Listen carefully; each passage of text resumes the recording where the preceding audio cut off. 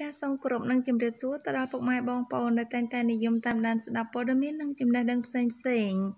តាមរយៈបណ្ដាញសង្គម YouTube ជាទីមេត្រីខណៈនេះដែរនេះខ្ញុំមានព័ត៌មានថ្មីមកទៀតហើយយកមកជម្រាបជូនពុកម៉ែបងប្អូនទស្សនានិងស្ដាប់កំសាន្តដែលមានចំណងជើងថាស្អាតហើយចិត្តល្អទៀតម៉ែរួយបានឧបត្ថម្ភដល់លោកមែន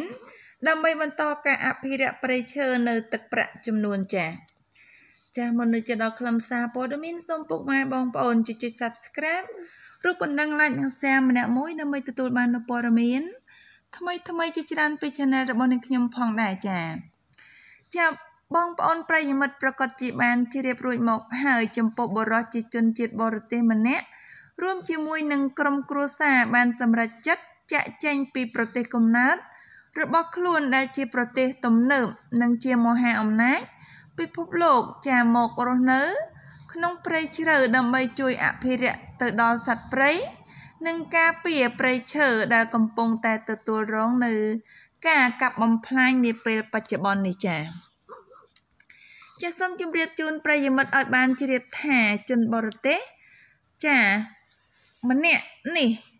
ចាគាត់បានមករស់នៅ ចាលើទឹកដីប្រទេសកម្ពុជាអស់រយៈពេលជិត 30ឆ្នាំមកហើយ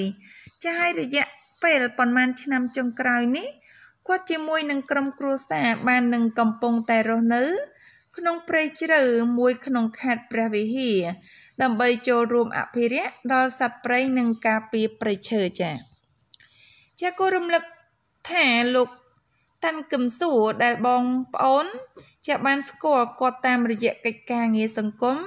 និងការងារសប្បុរសធម៌ជាច្រើននោះ ធ្លាប់បានចេញមុខប្រកាសស្វែងរកជំនួយដើម្បីយកថវិកាជួយសម្រួលចាទៅដល់ជីវភាពលោកចាដែលជាសកម្មជនការពារចាសត្វព្រៃ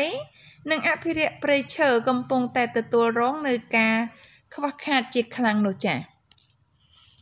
ចាយ៉ាងណាមិញបើយោងតាមរយៈកណនី page ចា Facebook របស់លោកតាន់កឹមស៊ូដែលកាលពីប្រហែលថ្ងៃមុននេះ ចាបានបញ្ជាក់ឲ្យដឹងថាអរគុណប្អូនស្រីដ៏ស្រស់ស្អាតចាដែលបានឧបត្ថម្ភជាថវិកាចំនួន500ដុល្លារជូនលោកមែនចាសម្រាប់បេសកកម្មអភិរក្សព្រៃឈើប្អូនស្រីសន្យានឹងបន្តជួយលោកមែនជាបន្តទៀតចាជាចំពោះប្រិយមិត្តដែលនិយមតាមដានចាបណ្ដាញសង្គម Facebook ជាច្រើនមិត្តមិត្តនារីប្រកាសជាបានស្គាល់ម៉ែរួយ ចារួចមកហើយតាមរយៈការ live ចាលក់ផលិតផលតាមអនឡាញនឹងការចាសមាចានឹងការសមាធិចាគ្រប់គ្រងអារម្មណ៍ដើម្បីពង្រឹងផ្លូវចិត្តមនុស្សឲ្យមានភាពរឹងមាំដែលទទួលបាននៅការចាប់អារម្មណ៍ជាខ្លាំងនាពេលបច្ចុប្បន្ននេះចា៎ចាខ្លឹមសារព័ត៌មាននេះខ្ញុំបានជម្រាបជូនសូមបញ្ចប់ត្រឹមនឹងសូមអរគុណសូមជម្រាបលា